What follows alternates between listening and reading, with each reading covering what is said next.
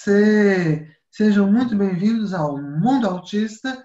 Hoje eu, Sofia Mendonça, entrevistando novamente o nosso grande parceiro, doutor Renato. Tudo bem, doutor? Tudo bem, Sofia. Muito bom estar de novo com vocês aqui. A gente que agradece.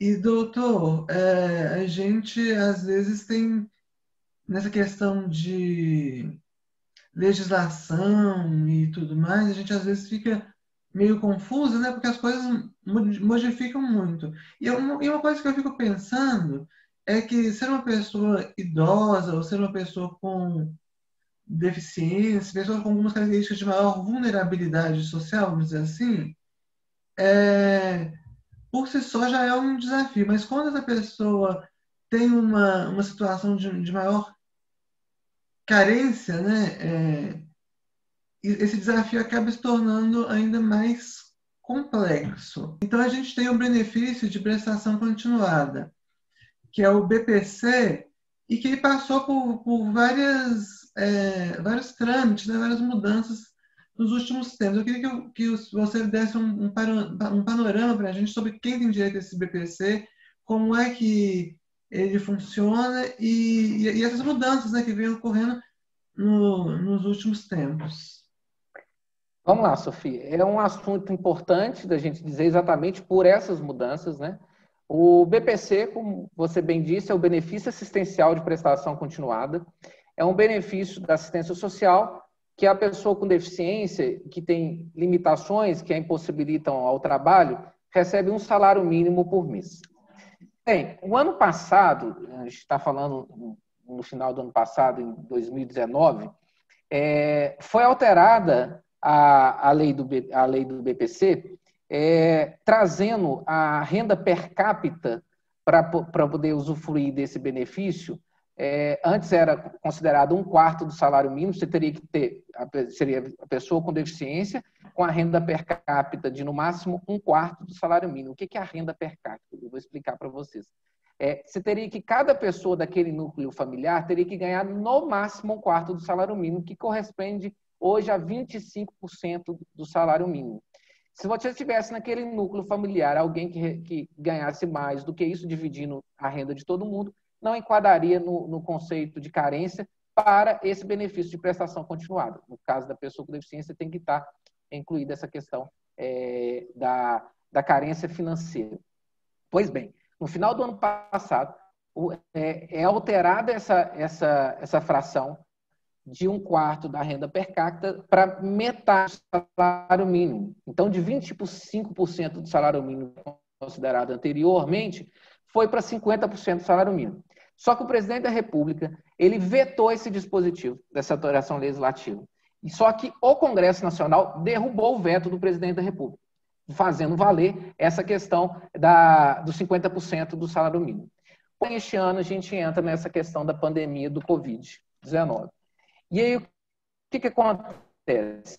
É, nós temos a, a lei que, que fala a respeito do Covid, que é a Lei 13.982, que ela volta para é, a fração de um quarto do salário mínimo, né, de 25% do salário mínimo, até 31 de dezembro deste ano. Então, atualmente, atualmente está em vigor a, a alíquota máxima de 25% do salário mínimo por renda per capita para você conseguir o benefício da prestação continuada. Já fica aqui todas as minhas ressalvas, todas as minhas a minha, a minha indignação de ter que mexer com o benefício daquelas pessoas que mais precisam. Como você bem disse, a questão da deficiência, da pessoa com deficiência no, no país, no Brasil, infelizmente, já coloca a pessoa em situação de vulnerabilidade exatamente por a, a sociedade não estar pronta para resguardar todos os, os, seus direitos. É por isso que a situação de vulnerabilidade. Agora, imagine a vulnerabilidade pela condição de pessoa com deficiência acrescentada pela questão de hipossuficiência financeira, ou seja, de pobreza.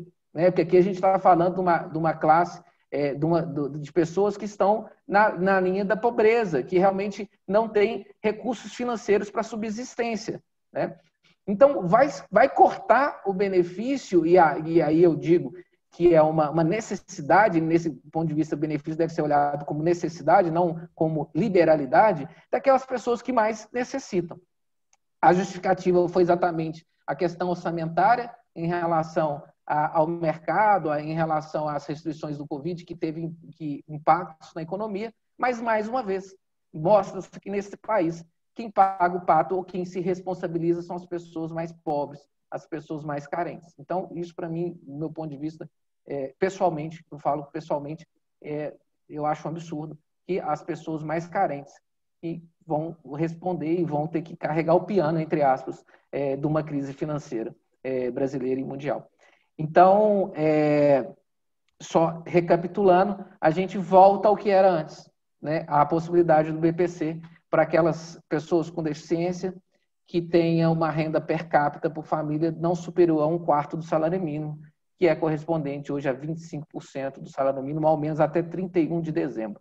Após esse período de 31 de dezembro, espero eu que restabeleça é, é essa alíquota de 50% do salário mínimo, de meio salário mínimo da renda per capita. E isso ajuda muito as pessoas com deficiência, né? Ajuda muito. E no, num vídeo anterior nós gravamos em relação ao trabalho e eu expliquei lá essa questão do, do jovem aprendiz, né? Do aprendiz, na verdade, que é para a pessoa com deficiência independe de idade, que pode acumular o BPC e também a remuneração do aprendiz. Então, ressalta aqui nessa parte do BPC mas é mais um panorama explicando de como é que está na atualidade.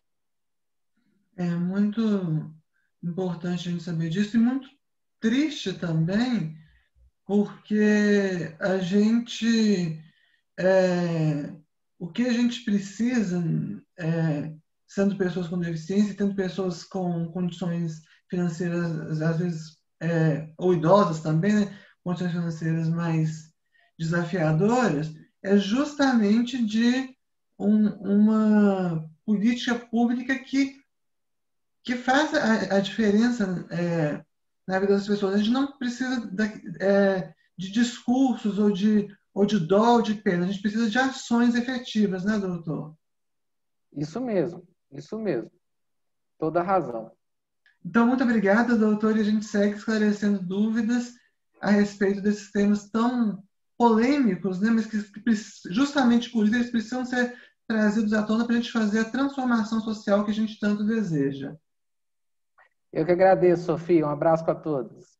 Abraço. Até mais, pessoal.